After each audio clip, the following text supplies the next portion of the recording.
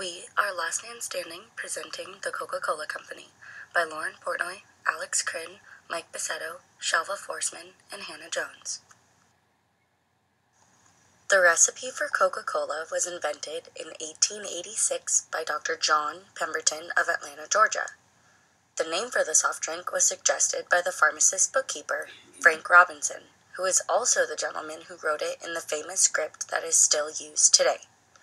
In 1888, a businessman by the name of Asa Griggs Candler bought the formula from Pemberton and formed a corporation, thus becoming the company's first president.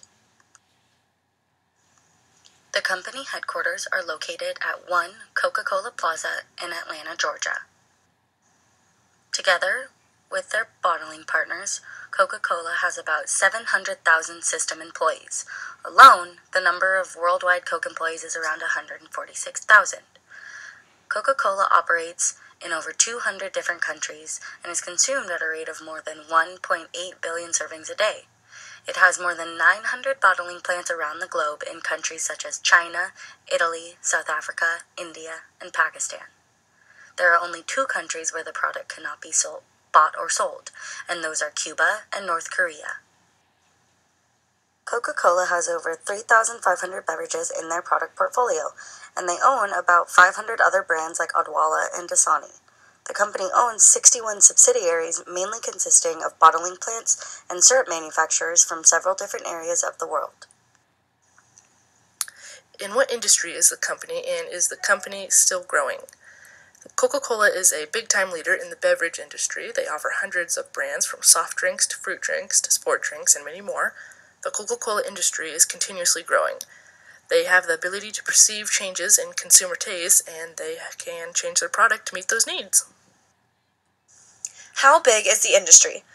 As stated before, Coca Cola is a part of the beverage industry, which is under the American Beverage Association, ABA.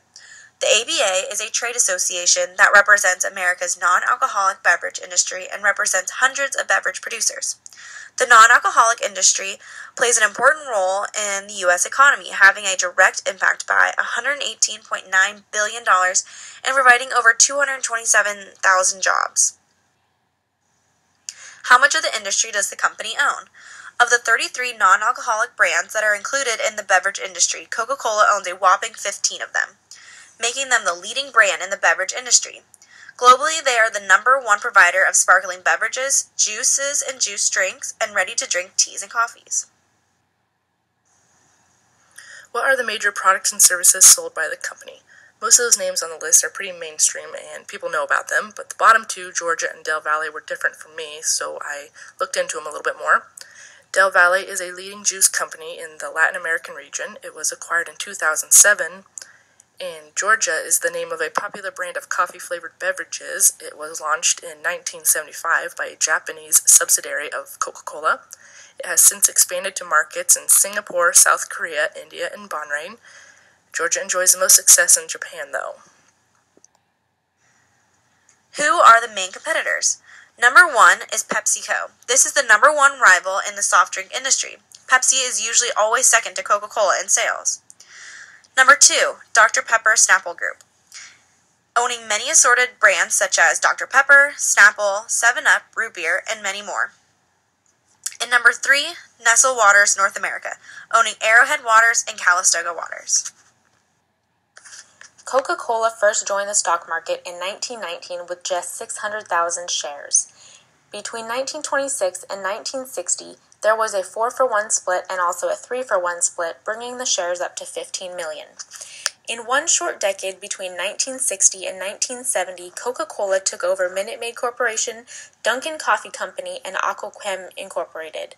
In the same decade, there were three two for one stock splits, increasing the shares to 140 million at 83 cents per share. In 1978 to 1982, Coca Cola purchased Presto Products and Columbia Pictures Industries.